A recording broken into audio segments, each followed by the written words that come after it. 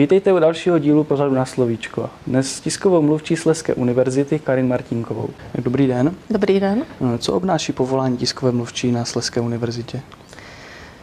Povolání tiskové mluvčí je povoláním prostředníka. Mým úkolem je vlastně zprostředkovat přenos interních zpráv do vnějšího prostředí směrem k veřejnosti. Eh, děje se tak pomocí různých atributů, marketingových nástrojů, jako je vytváření tiskových zpráv, zpracovávání třeba výročních zpráv univerzity. Eh, samozřejmě do náplně práce ale patří i eh, záležitosti z oblasti, z oblasti public relations, tedy všechny záležitosti, které nějakým svým způsobem přispívají ke zlepšení imiče, eh, k upevnění dobré, eh, dobré pověsti organizace, pro kterou tiskový mluvčí působí. Mm-hmm. Jak jste se k této práci dostala? Byl to takový nějak, nějaký váš sen, za kterým jste si šla, nebo to prostě život přinesl?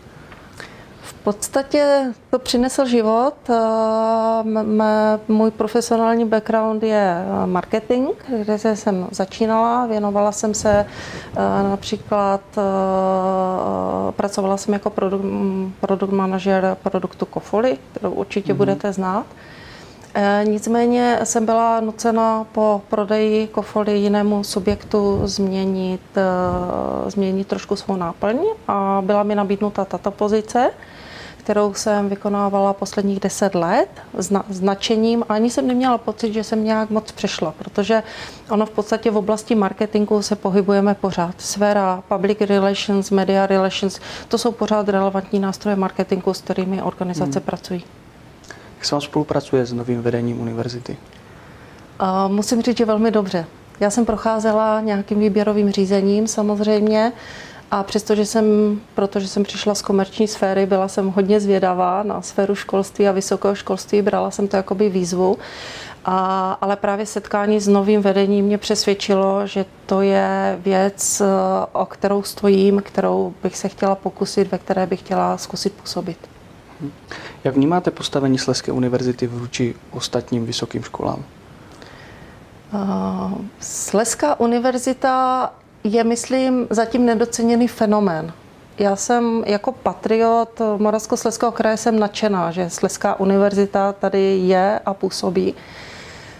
Samozřejmě se nemůže rovnat s největšími vysokými školami, ale není ani nejmenší jsou vysoké a veřejné vysoké školy, které jsou, které jsou počty studenty eh, na nižších počtech než je Sleská univerzita a vlastně i všechny, pokud vím, tak všechny eh, privátní jsou vysoké školy mají menší počet studentů.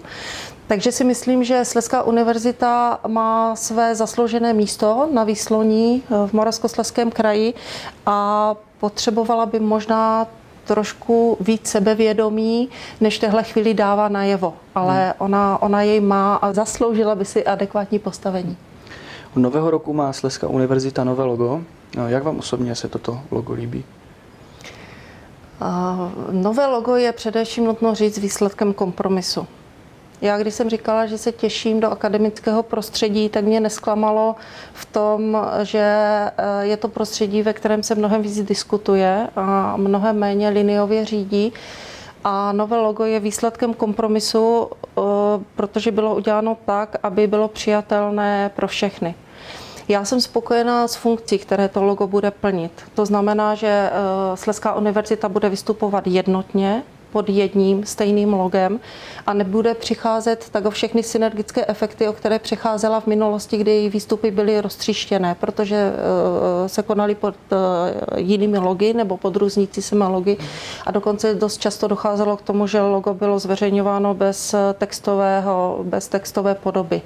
Takže bohužel i mnohé akce byly skoro anonymní. A to byla velká škoda, protože Sleská univerzita produkuje nesmírné množství a velmi podařených a velmi profesionálně zvládnutých akcí. Hmm.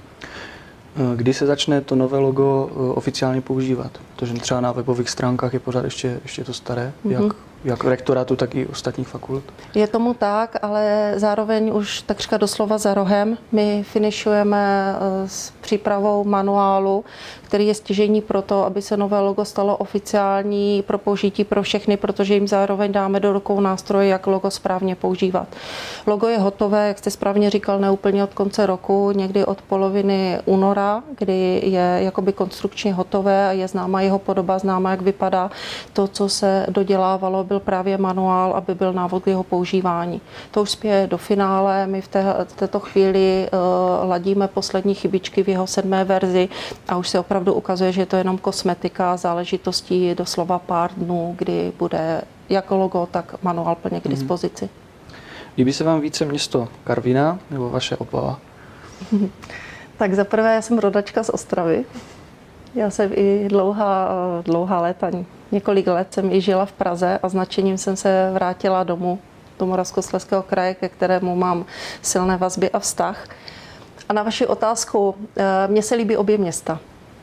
Já nežiju v Opavě, žiju kousek, kousek za Opavou, nadšeně do Opavy dojíždím, jsem okouzlená atmosférou historického města a stejně tak jsem měla příležitost poslat, poznat Karvinou, eh, což není možná na první pohled úplně zřejmé a myslím si, že je škoda, protože Karviná má neskonalé množství krásných míst, pro někoho možná překvapivě zelených míst a také hodně historických míst, které mě se teda strašně líbí. A má svou atmosféru a život, takže mně se líbí obě města. Já bych mezi, na, mezi nimi vůbec nedělala rozdíl a dovedu si představit, že bych žila v obou nebo v kterémkoliv z nich. Máte nějaké koníčky? Mám koníčky, ještě, že se neptáte na čas, to by bylo trošku horší s těmi koníčky.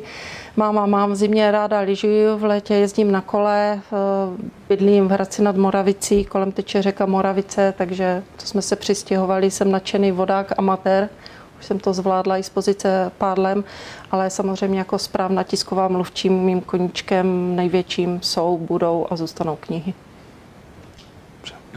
Já vám moc krát děkuji za rozhovor. Bylo mi potěšením.